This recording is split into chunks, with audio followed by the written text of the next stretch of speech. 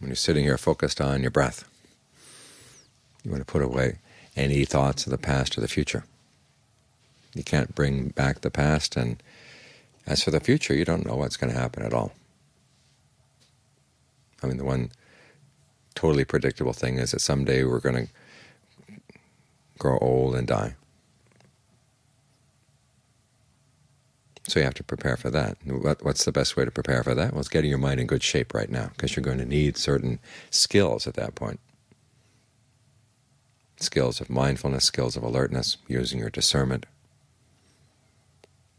keeping your confidence up, that you can face whatever comes your way. You don't have to be blown away by it. And of course, those are skills that are useful not only for aging, illness, and death, but for any difficult situation that may come up in the future. And so instead of sitting here plotting and planning about how you're going to deal with this eventuality or that problem or that disaster that could happen, just remind yourself you don't know if any of these things are going to happen, but you do know that when they do happen, you're going to need these skills. And so drop the particulars about what you're worried about and let's focus on right here, right now, developing the mind so that it is strong. It's like knowing that you're going to have to lift a big weight, and so you go out and you practice lifting the weights beforehand. So when the time comes, okay, whatever comes your way, you're, you're prepared. It's in the same way, you keep your mind prepared, but developing a mindfulness, developing alertness, and developing the confidence that you can do these things. This is probably the most important part of the practice. It's so easy for the mind to tear itself down and say, well, I don't know if I'll be able to do that, and this might get in the way, and that might be a problem. And the mind's eating itself up when it does that. It's destroying its own strength. So you have to realize that you can make a difference simply by changing your attitude.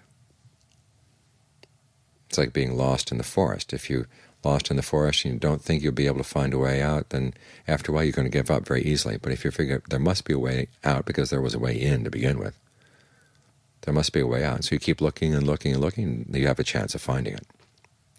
That's That determination and that confidence is what makes all the difference. So have some confidence in your skills, that the quality of mindfulness, the quality of alertness, that whatever comes up, you'll have the mental skills to deal with it and that this practice that we're doing here right now is what in, in confirms that that's going to be true. Now, there may be times when there are setbacks, but that's a normal part of dealing with anybody's mind. It's not the case that the Buddha never had any setbacks or the great arahants never had any setbacks. We've all had setbacks. It's our ability to bounce back that makes all the difference. And that comes from a basic confidence. So to try to keep that attitude in mind, that no matter how bad the problem gets, there's a way around it. Other people who've had more weak points than you do, they've been able to get around. So you can do it too.